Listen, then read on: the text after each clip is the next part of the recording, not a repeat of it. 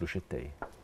طيب قبل الروشتة في حاجة صغيرة في اختيار النشء آه. هو مش اختيار على أساس فني أو نفسي بس لأ كمان تعليمي. مم.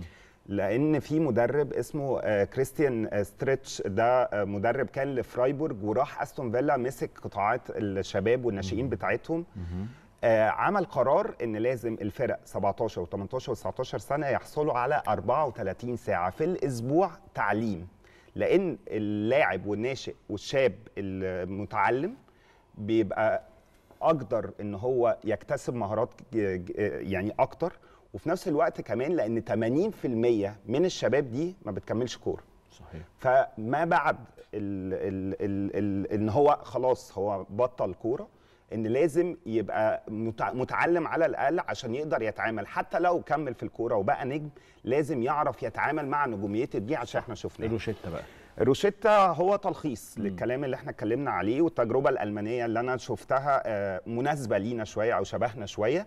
هي على كل المستويات سواء على مستوى ال- ال- النشء واللعيبة الصغيرين سواء على مستوى الدوري الممتاز بتاعنا على آه، كل آه، الجوانب بتاعت الكرة المصرية بتاعتنا طبعا الب- المراكز حلوة البرديه اللي انت جايبها. حلوة البرديه عشان الروشيتا المصرية. لازم اللمسة بتاعتنا. هاي. أول حاجة يبقى في مراكز لاكتشاف المواهب ودي أول حاجة جمال قالها. مم. هي فكرة القاعدة إن إحنا نعمل قاعدة من اللعيبة. تاني حاجة هي منح منح للحصول على دورات ورخص معتمدة للمدربين ويتحط لها قواعد وتبقى إلزامية بالنسبة لأي مدرب هيدرب سواء لعيبة ناشئين أو شباب أو على مستوى الدرجة الأولى. آه، دقائق لعب أكتر للاعبين الشباب في الدرجة الأولى. ودي أنا كريم عندي فيها فكرة إن هي تبقى مربوطة بعوائد البث للأندية.